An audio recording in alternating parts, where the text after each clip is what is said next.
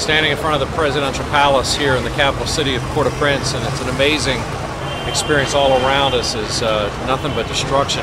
Uh, just uh, over that way is the tax building where they collected the taxes, and to my left is the finance building. Uh, there's nothing left. These buildings are gone. The presidential palace. This is the seat of power. And for a country that absolutely has no government now, and the thing that made them proud as a symbol of power is done. It's all done.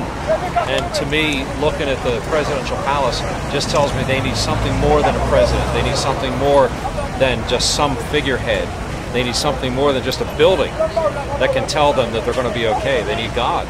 They need somebody to say, we care and that God cares. And this is the hope that we've been hearing about as we've been talking to people here in Haiti. They've been saying, do I have it tomorrow? Do I have it tomorrow? And we're here to say, yeah, you sure do.